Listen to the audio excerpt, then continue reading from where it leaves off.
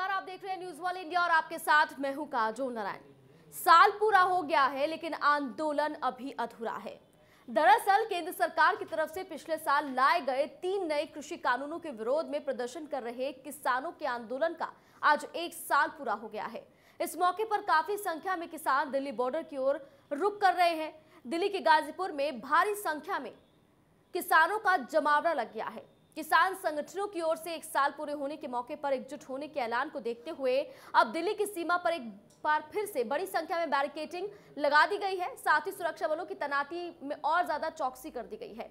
बता दें कि केंद्र सरकार के विवादित तीन कृषि कानून को वापस लिया जा चुका है। उसके बावजूद अब भी किसानों का आंदोलन लगातार जारी है। किसान संगठनों ने एक साल पूरे होने के मौके पर दिल्ली की सीमाओं पर एकजुट होने का ऐलान पहले ही कर दिया था। जिसको देखते हुए अब हरियाणा, पंजाब से भारी संख्या में किसान दिल्ली बॉर्डर पर पहुँच रहे हैं। वहीं इस बीच केंद्र कैबिनेट ने तीनों कृषि कानूनों को वापसी पर सहमति दे दी है। वही सहमति के बाद भी किसान नेता अपने आंदोलन पर अड़े हुए हैं। बता दें कि भाकियों के अध्यक्ष नरेश टिकैत ने किसानों के आंदोलन को लेकर बयान दिया। नरेश टिकैत ने कहा कि आंदोलन कुछ घंटों में नहीं सिमटेगा, बल्कि कई मुद्दों पर यह आंदोलन चलता रहेगा। दरअसल प्रधानमंत्री नरेंद्र मोदी ने बीते शुक्रवार को देश को संबोधित करते हुए तीनों कृषि कानून वापस लेने की घोषणा की थी, जिसके बाद कैबिनेट की मुहर भी इस पर लगी। लेकिन उसके बावजूद भी कई किसान संगठन ऐसे हैं जो पीछे हटने के लिए तैयार नहीं है, यानी कि आंदोलन को खत्म करने के लिए तैयार नहीं है। किसानों की बहुत सारी मांगे हैं, चाहे वो एमएसपी पर कानून बनना हो, चाहे वो उनके ऊपर लगे मुकदमे वापस लेना हो, बिजली की दरों में कटौती करना हो, या फिर यहाँ पर जो किसान इस पूरे आंदोलन में शहीद हुए हैं उनके परिवारों को मुआवजा देने की मांग हो। ये सारी मांगे हैं। किसानों का साफ़ तौर पर कहना है कि ये सारी मांगे पूरी हो जाए तो उसके बाद आंदोलन खत्म होगा। लेकिन अगर सरकार इन मांगों को नहीं मानती तो आंदोलन खत्म नहीं होने वाला है। चाहे इस आंदोलन का एक साल हो, दो साल हो, तीन साल हो, निरंतर यह आंदोलन चलता रहेगा। तो किसानों ने दिल्ली बॉर्डर को पूरी तरह से जाम कर दिया है। दरअसल पहले से ही किसान नेताओं ने अल्टीमेटम दे दिया था कि वो दिल्ली कूच करेंगे एक साल होने पर। और आज ऐसी तस्वीरें लगातार सामने आ रही हैं। चाहे वो सिंगू बॉर्डर हो, टिकरी बॉर्डर हो, गाजीपुर बॉर्डर हो। भारी संख्या में किसान यहाँ पहुँच रहे हैं। कुछ ऐसे भी हैं जो ट्रैक्टर रैली निकाल रहे हैं। तो कई जगहों पर दिल्ली पुलिस की तरफ़ से बैरिकेटिंग कर दी गई है किसानों को रोकने के लिए। देखिए, अगर इस किसान आंदोलन की हम बात करें तो इस किसान आंदोलन ने बहुत कुछ देखा है, बहुत कुछ अच्छा भी देखा है, बहुत कुछ बुरा भी देखा है। इसके अलावा किसान आंदोलन पर बहुत सारे दाग भी लगे हैं, चाहे वो किसान आंदोलन में हत्या करना हो, रेप का मामला हो या फिर दंगे भड़काने जैसी चीज़ें हो, या फिर खालिस्तान जैसे निशान मिलना हो, ऐसी तमाम चीज़ें हैं जो इस किसान आंदोलन ने देखी है। तो ऐसे में कोई उपद्रव ना हो, कोई हिंसक घटना ना हो, इस वजह से प्रशासन पूरी तरह से अलर्ट मोड पर काम कर रहा है। सिर्फ़ दिल्ली पुलिस ही नहीं, तमाम एजेंसियाँ हैं जो लगाई गई हैं। तो चलिए ग्राफिक्स के ज़रिए आपको बताती हैं कि आखिर ये पूरा मसला क्या है? किसानों की मांगे क्या हैं? कब सिमटेगा किसानों का विरोध? ऐसे तमाम सवाल हैं जो आम जनता पूछ रही है। दिल्ली बॉर्डर पर अन्नदाता फिर से नज़र आ रहे हैं। दिल्ली कूच करने की पूरी तैयारियाँ जो हैं, तस्वीरों में दिखाई दे रही हैं। इसके अलावा किसानों की एकजुटता का फिर से डंका बजने वाला है। ऐसी तस्वीरें सामने आ रही है। किसान नेता बार बार ये कह रहे हैं कि भले ही एक साल पूरा हो गया हो, लेकिन किसान आंदोलन अभी यूँ ही चंद घंटों में खत्म होने वाला नहीं है। कानून वापस हो गया है, लेकिन सियासत अब भी जारी है। कब टूटेगी आंदोलन की हथकड़ी? ये भी सवाल है कि आंदोलन खत्म कब होगा, क्योंकि कृषि कानून तो वापस ले लिए गए हैं, कैबिनेट की मुहर लग गई है, खुद प्रधानमंत्री नरेंद्र मोदी ने इसकी घोषणा की है। एक साल पूरे होने पर किसानों का दिल्ली कूच एक बार फिर से ऐसी तस्वीरें सामने आ रही है। किसान आंदोलन अगर बात की जाए तो एक साल पूरा हो गया है, लेकिन किसान आंदोलन अभी खत्म नहीं हुआ इन इस एक साल में कृषि कानूनों की वापसी हो गई है, लेकिन किसानों की घर वापसी कब होगी, ये बड़ा सवाल है। इस पर अभी भी प्रश्न चिन्ह बना हुआ है कि आखिर घर वापसी कब? खुद प्रधानमंत्री नरेंद्र मोदी ने कहा था कि जो मेरे भाई किसान हैं, वो अब वापस अपने घर का रुख करें, घर लौट जाए। लेकिन उसके बावजूद भी कुछ किसान संगठन ऐसे हैं जो वापस लौटने के लिए तैयार नहीं है। राकेश टिकैत साफ़ तौर पर कह चुके हैं, क्योंकि इस किसान आंदोलन का सबसे बड़ा चेहरा वो भरकर सामने आए हैं। उन्होंने साफ़ तौर पर कहा कि सरकार भले ही हमारे आंदोलन के आगे झुक गई हो, लेकिन हम हटने वाले नहीं हैं। हमारी बहुत सारी मांगे हालाँकि ये नई नहीं है। इससे पहले भी ये मांगे कृषि कानून के साथ साथ थी। लेकिन इस पर अभी तक कुछ भी बयान जो है सरकार की तरफ़ से सामने नहीं आया है। सरकार भरोसा दिला रही है किसानों को, लेकिन किसान मानने के लिए तैयार नहीं है या ये कहें कि किसान नेता मानने के लिए तैयार नहीं है। आज फिर से वही तस्वीरें देखने के लिए मिल रही है जो एक साल पहले हमें देखने के लिए मिल रही थी जब भारी संख्या में, हज़ारों की संख्या में किसान दिल्ली कूच कर रहे थे। सिंगू बॉर्डर पहुँच रहे थे टीकरी बॉर्डर पहुँच रहे थे, चिल्ला बॉर्डर पहुँच रहे थे, गाजीपुर बॉर्डर पहुँच रहे थे। आज भी ऐसी तस्वीरें दिखाई दे रही हैं। और ज़्यादा जानकारी के लिए मेरे सहयोगी जितेंद्र गाजीपुर बॉर्डर से लाइव जुड़ गए हैं। जितेंद्र, कैसी तस्वीरें आज? एक साल पूरा हो रहा है किसान आंदोलन का।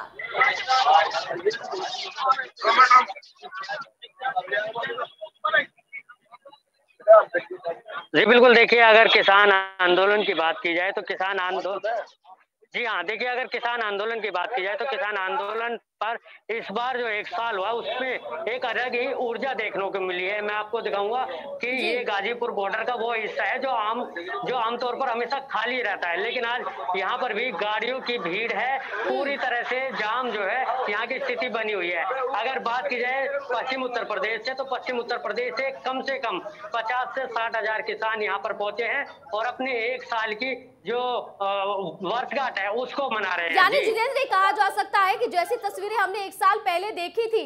इस दिन ऐसी तस्वीरें एक साल बाद फिर से दिखाई दे रही हैं। वही संख्या किसानों की, या उससे ज़्यादा? जी बिल्कुल देखिए जिस तरह अगर पिछले साल की बात की जाए तो जब आंदोलन की शुरुआत की गई थी तो उस वक्त किसान कम थे। लेकिन अगर आज की बात की जाए तो आज एक साल होने पर किसान काफ़ी तादाद में यहाँ पर पहुँचे हैं। तस्वीरें बिल्कुल अलग हैं कि जिस तरह से जब आए थे जब उनको इतना अंदेशा नहीं था कि इस आंदोलन को एक साल लग जाएगा लेकिन आज की जो तस्वीरें हैं वो बेहद ज़्यादा अलग है। किसान की तादाद भारी मात्रा क्या, क्या ये तस्वीरें ये जो भीड़ है खुशी के मारे है या फिर गुस्सा बहुत ज़्यादा है? जी, बिल्कुल। देखिए, ये जो तस्वीर है, मिली जुली तस्वीर है, खुशी है कि तीनों कृषि बिल वापस लिए जा रहे हैं, लेकिन दुख है कि जो एमएसपी है, उस पर कानून नहीं बनाया जा रहा है। इसके अलावा जो 700 किसान यहाँ पर शहीद हुए हैं, जैसे कि किसानों का कहना है, उनको जो मुआवजे देने की बात है, उस पर कोई ध्यान नहीं दिया जा रहा है। जी। जितेंद्र, क्या तस्वीरें सामने आ रही है? क्या आगे की रणनीति है किसानों की? क्योंकि कुछ ऐसे संगठन है जो की घर वापसी कर चुके हैं, लेकिन कुछ संगठन ऐसे है जो घर वापसी की तैयारी में नहीं है। अगर गाजीपुर बॉर्डर की हम बात करें तो गाजीपुर बॉर्डर जो है सबसे ज़्यादा फोकस रहा है किसान आंदोलन में। राकेश टिकैत जो है वो हीरो बन गए हैं किसान आंदोलन के। क्या कहना है उनका? क्या कह रहे हैं आज वो? जी बिल्कुल। देखिए उनका साफ़ तौर पर कहना है कि जो उनतीस तारीख की तैयारियाँ हैं हम्म। उसको लेकर कल एक संयुक्त किसान मोर्चा की मीटिंग होगी और उसी के हिसाब से आगे की रूपरेखा तैयार की जाएगी। फ़िलहाल अगर गाजीपुर बॉर्डर की बात की जाए तो दिल्ली पुलिस जो है उसने भी पूरी तरह से बैरिगेटिंग कर दी है। सिर्फ़ एक रास्ते को खुला छोड़ा है लेकिन बाकी के जो रास्ते खोले गए थे उनको एक बार फिर बैरिगेटिंग कर दिया गया है क्योंकि यानी जितेंद्र आम जनता को एक बार फिर से परेशानियों का सामना करना पड़ सकता है इस भीड़ की वजह से। इसके अलावा देखिए जितेंद्र अगर देखा जाए तो 29 नवंबर से संसद का शीतकालीन सत्र भी शुरू हो रहा है। ऐसे में संसद का घेराव करने की बात किसान पहले ही कर चुके हैं। ट्रैक्टर रैली रवाना करने की बात कर रहे हैं। इसके अलावा विदेशों में भी किसान आंदोलन के जो चर्चे हैं, वो पहले से ही हैं, लेकिन आज एक बार फिर से इसका विरोध देखने के लिए मिल रहा है। जी हाँ पूरी तरह से विरोध देखने को मिल रहा है। हालाँकि जो सिंधु बॉर्डर के जो किसान हैं वो कुछ अपने जत्थों के साथ वापस जा रहे हैं लेकिन पश्चिम उत्तर प्रदेश के जो किसान है उनकी पूरी तरह से वही मांगे कि एमएसपी पर कानून बनाया जाए। अगर कानून नहीं बनाया जाता है तो वहाँ इसी तरह से आंदोलन करते रहेंगे जिसके चलते किसान जो है लगातार पश्चिमी उत्तर प्रदेश के किसान की अगर बात की जाए तो खास तौर पर यहाँ पर पहुँच रहे हैं। और तस्वीरें भी मैं आपको दिखाना चाहूँगा तो आप देखेंगे कि किस तरह से जो किसान है वो यहाँ पहुँच रहे हैं नारेबाजी कर रहे हैं विरोध प्रदर्शन कर रहे हैं और तमाम किसान जो है इसी तरह से आपको यहाँ पर दिखाई दे जाएँगे आज के दिन। बिल्कुल जितेंद्र यहाँ पर आप बहुत देर से मौजूद हैं। क्या आपकी बात हो पाई है किसानों से? क्या कहना है उनका? कब तक क्यों ही डटे रहेंगे? अगर सुरक्षा व्यवस्था की हम बात करें तो कोई अप्रिय घटना ना हो ऐसे में दिल्ली पुलिस पूरी तरह से चौकसी बनाए हुए है। जी बिल्कुल दिल्ली पुलिस की अगर बात की जाए दिल्ली पुलिस के साथ साथ यूपी पुलिस भी आंदोलन के बीच में मौजूद है और लगातार जो बड़े अधिकारी है वो यहाँ पर आ रहे हैं और मुआयना कर रहे हैं। इसके बाद अगर दिल्ली पुलिस की बात की जाए तो दिल्ली पुलिस ने अपनी तरफ़ से पूरी तरह बैरिगेटिंग की हुई है और तमाम सेफ़ बल के साथ साथ खुद भी मौजूद है कि किसी भी तरह की अप्रिय घटना ना हो जाए। जी। नहीं, जितेंद्र, जिस तरह से अभी आपने कहा कि सिंगू बॉर्डर पर कई ऐसे जत्थे हैं किसानों की जो वापसी कर रहे हैं, क्या इस पे सीधे तौर पर सरकार वर्सेस राकेश टिकैत होने वाला है? क्योंकि पश्चिमी उत्तर प्रदेश में अगर हम देख रहे हैं गाजीपुर बॉर्डर पर तो यहाँ पर हालात वैसे ही हैं जैसे एक साल पहले थे, वही भीड़ दिखाई दे रही है। जी बिल्कुल देखिए अगर गाजीपुर बॉर्डर की बात की जाए तो जो जत्थे यहाँ से गए हैं वो गुपचुप तरीके से गए हैं और उसके अलावा जो यहाँ पर पहुँचे हैं वो किसान की तादाद बहुत ज़्यादा बड़ी है हम्म। इसके अलावा अगर बात की जाए सिंधु बॉर्डर की तो वहाँ से जो किसान है वो पलायन कर रहे हैं धीरे धीरे जा रहे हैं क्योंकि उनका साफ़ तौर पर क्योंकि पंजाब की अगर बात की जाए तो वहाँ एमएसपी की इतनी बड़ी समस्या नहीं है हम्म। जितनी यहाँ पर पश्चिम उत्तर प्रदेश में है जितेंद्र इसके अलावा एक और मांग थी किसानों की कि जिस किसान आंदोलन में इस पूरे एक साल में जितने भी किसान शहीद हुए हैं, उनके परिवार वालों को मुआवजा दिया जाए। इसके अलावा जो अजय मिश्रा है, उसकी बर्खास्तगी होनी चाहिए। इसको लेकर आज क्या मंथन किया जा रहा है? जी, बिल्कुल, देखिए, इसको लेकर रणनीति बिल्कुल साफ़ है कि कल जो संयुक्त किसान मोर्चा की मीटिंग होगी, उसके बाद इसका जो रास्ता होगा, वो आगे निकाला जाएगा। फ़िलहाल उनकी जो स्थिति है, वो पूरी तरह से वही है कि एमएसपी पर कानून हो। इसके अलावा जो 700 किसान शहीद हुए हैं, उनको अनुदान के रूप में मुआवजा दिया जाए या फिर उनके जो परिवार वाले हैं उनको सरकारी नौकरी दी जाए जी नहीं जितेंद्र ये जो तस्वीरें आप दिखा रहे हैं बार बार बहुत ज़्यादा भीड़ है। आपके पीछे में देख पा रही हूँ कि ट्रैक्टर ट्रॉली भी बहुत ज़्यादा नज़र आ रही है। किसान भी बहुत ज़्यादा संख्या में यहाँ पहुँच रहे हैं। तो इससे क्या समझा जाए इन तस्वीरों से कि प्रधानमंत्री नरेंद्र मोदी एक सप्ताह पहले ही घोषणा करते हैं कि तीनों कृषि कानून वापस लिए जा रहे हैं। उस दिन वो क्षमा भी मांगते हैं साथ ही साथ लोगों से यानी कि किसानों से निवेदन करते हैं कि वो अपने घर लौट जाए। लेकिन किसानों की संख्या बहुत ज़्यादा है, यानी कि उनकी बात को नहीं सुना गया, नहीं माना गया। जी, बिल्कुल देखिए, जब से प्रधानमंत्री नरेंद्र मोदी ने कहा है कि वो क्षमा प्रार्थी हैं और जो तीन कृषि कानून है उनको वो वापस ले रहे हैं किसान जो अपना धरना खत्म करें वो घर पहुँच जाए। लेकिन हम्म। उसके बाद से तस्वीरें एक अलग ही आई हैं। कहा जा सकता है कि जिस तरह से किसान आंदोलन में ऊर्जा हुई है वो उसी तरह की ऊर्जा है जिस तरह से पिछले 28 जनवरी की अगर बात की जाए जब किसान आंदोलन में राकेश टिकैत के आँसू दिखाई दिए थे हम्म। ठीक उसी तरह से छब्बीस ये जो अभी प्रधानमंत्री मोदी जी ने अपने भाषण में कहा क्या वही स्ट्रैटेजी क्या वही स्ट्रैटेजी अपना सकते हैं राकेश टिकैत आज फिर से? जी, बिल्कुल। देखिए, ये तो आने वाला समय ही बता पाएगा कि आगे की जो रणनीति है, वो किस तरह की होगी। जितेंद्र, और क्या कुछ नया नज़र आ रहा है आज गाजीपुर बॉर्डर पर? क्योंकि एक साल से तो हम वो आंदोलन देख ही रहे हैं, लेकिन अब तो कृषि कानूनों की वापसी हो गई है। किसान आंदोलन अपनी घर वापसी क्यों नहीं कर रहे हैं? आज प्रधानमंत्री नरेंद्र मोदी, तमाम जो मुख्यमंत्री उनके साथ बैठक भी कर सकते हैं। बताया जा रहा है कि हरियाणा के मुख्यमंत्री भी उसमें शामिल होंगे। तो किसान आंदोलन पर चर्चा संभव है। हो सकता है कि जो किसानों की मांगे हैं, वो मान ली जाए। तब क्या आगे किसानों का कदम रहेगा? जी बिल्कुल देखिए किसानों की साफ़ तौर पर मांग सिर्फ़ अब यही बची है कि संसद में जब तीन काले कानून को हटाया जाएगा हम्म। हालाँकि उनको हटाया जाएगा और उसके बाद एमएसपी पर अगर कानून बनता है तो वो यहाँ से पलायन करेंगे। इसके अलावा अगर कोई और उनको दिलासा दिया जाता है तो उस पर अभी वो विचार करने की स्थिति में नहीं है। लेकिन सबसे बड़ी बात यही है कि जब कल संयुक्त किसान मोर्चा की मीटिंग होगी तो वहाँ से जो गाजीपुर बॉर्डर का जो आंदोलन चल रहा है उसके रास्ते जो है वो साफ़ हो पाएँगे क्योंकि सिंधु बॉर्डर की तस्वीरें अब छिन भिन होने लगी है। तो हम्म। इसलिए गाजीपुर बॉर्डर का जो रास्ता है जो आगे का भविष्य है वो जो है वो कल के संयुक्त किसान की जो मीटिंग होगी राकेश टिकैत राकेश टिकैत मौजूद गाजीपुर बॉर्डर पर? जी हाँ वो गाजीपुर बॉर्डर पर ही मौजूद हैं और लगातार जो उनके समर्थक हैं वो उनके साथ लगे हुए हैं हम्म। और इधर से उधर मीडिया के बयानबाजी और इन्हीं चीज़ों में आज वो व्यस्त हैं। बिल्कुल, यानी कहा जा सकता है कि आंदोलन अभी खत्म नहीं होने वाला है। आज की रणनीति कुछ अलग ही दिखाई देगी। जितेंद्र, आपका बहुत शुक्रिया तमाम जानकारी पहुँचाने के लिए। नज़र बना के रखेगा अपडेट लगातार आपसे हम लेते रहेंगे। तो तस्वीरें आपने देखी, अभी भी भारी संख्या में जो किसान हैं, वो मौजूद हैं गाजीपुर बॉर्डर पर। लेकिन जैसे कि मेरे सहयोगी ने भी बताया कि सिंगू बॉर्डर पर जो किसान हैं, वो पलायन कर रहे हैं। जो जत्थे हैं, वो लौट रहे हैं, लेकिन गाजीपुर बॉर्डर पर ऐसा दिखाई नहीं दे रहा है। यानी कहा जा सकता है कि अब जो लड़ाई है ना वो सिर्फ़ और सिर्फ़ सरकार वर्सेस राकेश टिकैत रह गई है। क्योंकि राकेश टिकैत ऐसे हैं जो सामने आ रहे हैं और कह रहे हैं कि अब हम पीछे हटने वाले नहीं हैं। क्योंकि अभी हमारी जो मांगे हैं, वो पूरी नहीं हुई है और भी मांगे हैं। एमएसपी पर कानून बनाना, बिजली के जो बिल है, उनमें कटौती करना, इसके अलावा जो पराली जलाई जाती है, उसको लेकर जो प्रदूषण फैलता है, हर बार किसानों पर मुकदमे जो दर्ज होते हैं, उनको वापस लेना। इसके अलावा जो मुकदमे दर्ज हैं, उनको वापस लेना। इसके अलावा अजय मिश्रा की बर्खास्तगी इसके अलावा जो शहीद किसान हुए हैं, उनके परिवार वालों को मुआवजा देना। साथ ही साथ उन्होंने साफ़ तौर पर कहा है कि शीतकालीन सत्र जब शुरू होगा, उसमें संसद में इस कृषि कानून को, जो बिल है, इसको वापस लिया जाएगा, तभी हम मानेंगे। अन्यथा यह आंदोलन यूँ ही चलता रहेगा। तो ऐसी तस्वीरें सामने आ रही है। एक साल पूरा हो गया है। बदला कुछ नहीं है। उतार चढ़ाव बहुत देखने के लिए मिले, लेकिन भीड़ वही है। राकेश टिकैत वही है और वही उनके आँसू हैं। जिसने इस किसान आंदोलन को एक नई धार दी थी। तो दिल्ली बॉर्डर का रुख जो किसान है, वो करते हुए नज़र आ रहे हैं, लेकिन दिल्ली पुलिस भी पूरी तरह से अलर्ट, यूपी पुलिस पूरी तरह से अलर्ट। कोई अप्रिय घटना ना हो, इसके मद्देनजर चप्पे चप्पे पर पैनी नज़र रखी जा रही है। कई रूट जो है डाइवर्ट कर दिए गए हैं। कई रूटों पर बैरिकेडिंग्स लगा दी गई है। ऐसी तमाम तस्वीरें सामने आ रही हैं।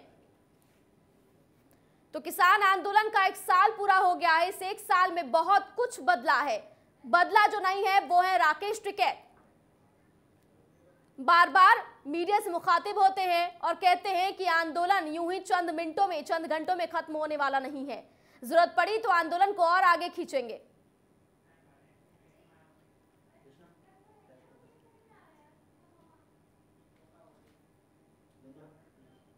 तो किसानों ने दिल्ली बॉर्डर का रुख किया है। ऐसी तमाम तस्वीरें सामने आ रही हैं। किसान जो हैं, एक बार फिर से इकट्ठा हुए हैं और भारी संख्या में, जैसा कि मेरे सहयोगी ने अभी बताया भी था कि बहुत ज़्यादा भीड़ 40 से पचास हज़ार किसान जो है, वो गाजीपुर बॉर्डर पर पहुँच रहे हैं। यानी कि एक बार फिर से वही भीड़ हमें देखने के लिए मिल सकती है। आज रणनीति तैयार की जाएगी कि उनतीस तारीख को क्या करना है, क्योंकि पहले ही किसान जो है वो कह चुके हैं कि उनतीस तारीख को संसद का घेराव वो करेंगे, ट्रैक्टर रैली निकालेंगे। इसके अलावा विदेशों में भी इस आंदोलन को और ज़्यादा हवा दी जा रही है। किसान आंदोलन सिर्फ़ भारत की गलियों, भारत के शहरों और गाँवों तक सीमित नहीं है। ये विदेशों तक पहुँच चुका है और उसकी बातें विदेशों तक होती है। तो ऐसे में इस पर सरकार की निगाह बखूबी बनी हुई है। कृषि कानून वापस लिए गए। कैबिनेट की तरफ़ से मुहर भी लगी है। लेकिन किसानों का मानना है कि और भी उनकी मांगे हैं, उन्हें पूरी की जाए।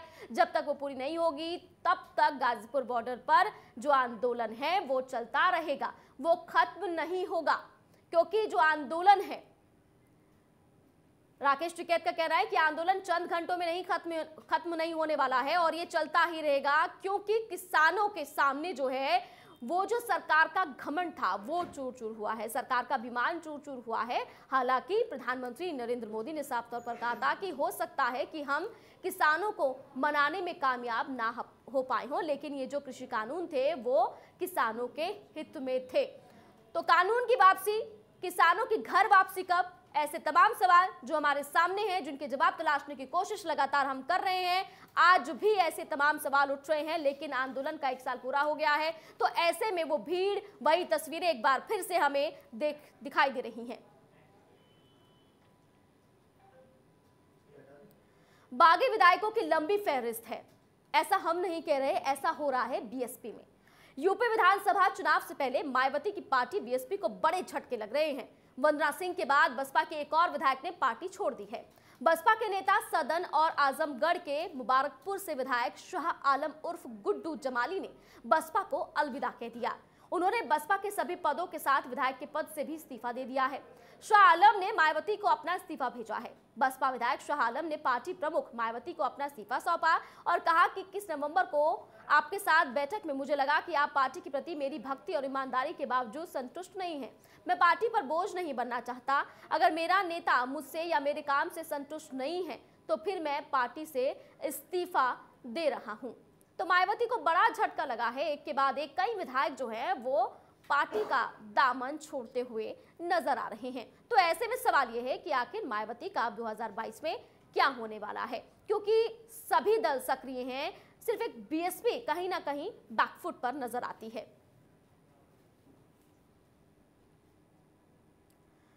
तो क्या पूरा होगा मायावती का मिशन 2022 अहम सवाल। अहम सवाल इसलिए क्योंकि एक के बाद एक विधायक बागी हो रहे हैं। चुनाव से पहले बसपा अध्यक्ष को एक और बड़ा झटका लगा है। एक और विधायक जो है उसने पार्टी से अलविदा कह दिया। तो बसपा के एक और विधायक का पार्टी से अलविदा सामने आया है। साफ़ तौर पर उनका कहना है कि उन्हें लगता है कि वो संतुष्ट नहीं है और इसी वजह से वो पार्टी से इस्तीफा दे रहे हैं। 2022 का चुनाव है और माया की जीत पर दाव लगा हुआ है। मायावती तमाम हथकंडे अपना रही, लेकिन उसके बावजूद भी पार्टी बिखरती हुई नज़र आई है। विधायक बिन किसे, कैसे जीते, सत्ता का रण, ऐसे तमाम सवाल मायावती के सामने हैं कि विधायक नहीं है तो फिर सत्ता का रण कैसे जीता जाएगा?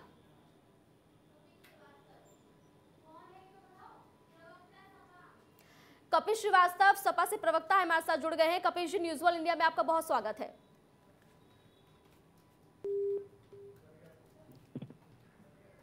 तो एक और विधायक ने पार्टी का दामन छोड़ दिया है। तो ऐसे में बसपा के सामने जो घने काले बादल हैं 2022 का रण फतह करने के वो छटते हुए नज़र नहीं आ रहे हैं। ऐसी तस्वीरें सामने आ रही हैं कि आखिर अब मायावती का क्या होगा? क्योंकि विधायकों की कमी है लगातार जो नेता हैं वो पार्टी का साथ छोड़ रहे हैं। कपिल श्रीवास्तव जी आवाज़ आ रही है मेरी? कपिल जी मुझे सुन पा रहे हैं आप? हाँ हाँ मैं मैं आपको सुन रहा हूँ बताएँ कपिल जी एक के बाद एक बसपा में विधायक जो हैं वो टूट रहे हैं क्या लगता है? देखिए बहुत सीधी सी बात है कि काफ़ी दिनों से भारतीय बसपा के जो विधायक हैं, वो अपनी पार्टी से असंतुष्ट रहे हैं, उसके कार्यकृतियों से असंतुष्ट रहे हैं। अपने नेतृत्व से उनकी कुछ असमंजस की स्थिति रही है, कोई कनेक्टिविटी नहीं रही है। ऐसी परिस्थितियों में कुछ जगहों पे ऐसा भी रहा कि बहुजन समाज पार्टी जो है, वो भारतीय जनता पार्टी के साथ चाहे राज्यसभा हो या एमएलसी का चुनाव हो, वहाँ पर खड़े मिले हैं। तो बहुत से विधायक ऐसा नहीं चाहते थे कि बसपा जो है वो कमल के फूल के साथ खड़ी हो तो बहुत सी ऐसी नहीं वो तो आपके साथ भी आई थी। बातों को कोई सुनने आपके वाला साथ भी गठबंधन तो किया था 2019 में? नहीं देखिए हमारे साथ जब गठबंधन था तो हमने तो गठबंधन तोड़ा भी नहीं और हम लोगों का तो अगर गठबंधन था तो वैचारिक तालमेल था क्योंकि समतामूलक कपिल जी आज आज आज मायावती ने एक प्रेस कॉन्फ्रेंस की है। हालाँकि वो संविधान दिवस पर प्रेस कॉन्फ्रेंस कर रही थी लेकिन यहाँ पर सपा को वो आड़े हाथों ले गई। अब देखिए वो समाजवादी पार्टी को कब सपा को आड़े हाथ लेती है या कब भाजपा को आड़े हाथ लेती है उनके आड़े हाथ लेने से पब्लिक समझती है कि वो क्यों ले रही हो कैसे ले रही है। तो सत्ता में बड़ी ताकत होती है कि वो विपक्ष की एकता को कैसे खंडित किया जाए और उसकी शिकार है। तो उसी वजह से वो जो भी लानत खयानत भेज रही है संविधान दिवस पे समाजवादी पार्टी को तो ये तो उनको सोचना चाहिए गठबंधन भी हम लोगों ने नहीं तोड़ा था। हम लोग तो लिए कि तो वो आदरणीय है। और कहीं ना कहीं विचारधारा समतामूलक समाज की स्थापना दोनों का तो ही लक्ष्य तो था। वो तो लेकिन कह मुझे रही लगता है सपा भले ही भले ही अपने कामों का बखान कर ले भले ही तमाम भाषण दे दे लेकिन सपा ने कुछ किया नहीं है। विकास के नाम पर कुछ नहीं किया। देखिए समाजवादी पार्टी का जो विकास है वो भौतिक रूप से दिखाई देने वाला विकास है। अभी लखनऊ के अंदर ही जितनी परियोजना कहिए मैं गिनवा दूँ या उत्तर प्रदेश या पूर्वांचल के अंदर जितनी परियोजना कहिए गिना दूँ। आपके सामने है, चाहे तेईस महीने में मेट्रो खड़ा किया पूर्वांचल एक्सप्रेसवे की जो ज़मीन थी उसमें सत्तर फ़ीसदी हायर करके पाँच को टेंडर किया था। और आपने देखा कि बाल चिकित्सा संस्थान एक ट्रामा सेंटर गोरखपुर को देने का काम किया। एम्स के लिए भूमि उपलब्ध कराने का काम किया है पूछा स्टेडियम का निर्माण किया। कपिल जी एक सवाल है तो जो हमेशा पूछा जाता है कि गेस्ट हाउस कांड के बाद जो खटास थी ना वो कहीं ना कहीं 2019 में खत्म होती हुई नज़र आई। गठबंधन हुआ। उसके बाद फिर इतनी खटास कैसे?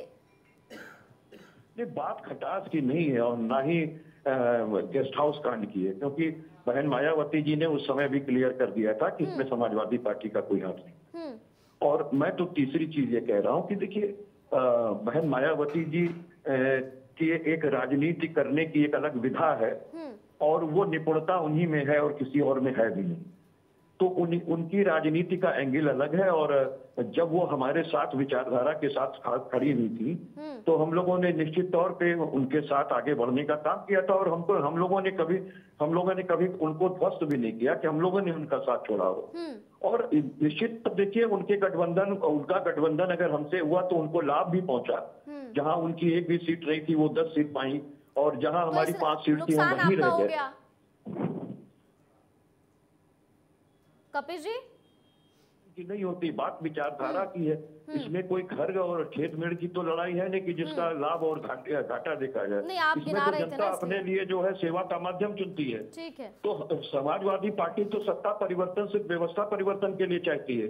तो जनता जब हमारा साथ देगी हम निश्चित रूप से सत्ता परिवर्तन के माध्यम से व्यवस्था परिवर्तन करेंगे। ठीक है कपिल जी शुक्रिया आपका हमारे साथ जुड़ने के लिए। तो बीएसपी कहीं ना कहीं इस चुनावी रण में बहुत पीछे नज़र आ रही है। देखिए, चाहे कांग्रेस हो, चाहे वो छोटे छोटे दल हो, सभी लगातार अपने आप को बढ़ावा देने के लिए तमाम रैलियाँ कर रहे हैं, तमाम यहाँ पर भाषणबाजी हो रही है, एक दूसरे पर बयानबाजी कर रहे हैं, लेकिन बसपा कहीं ना कहीं बहुत पीछे नज़र आ रही है। तो ऐसे में सवाल ये है कि आखिर 2022 में मायावती का क्या होने वाला है? ये तो वक्त ही बताएगा। फ़िलहाल के इतना ही, आप बने रहिए न्यूज़ वर्ल्ड इंडिया के साथ।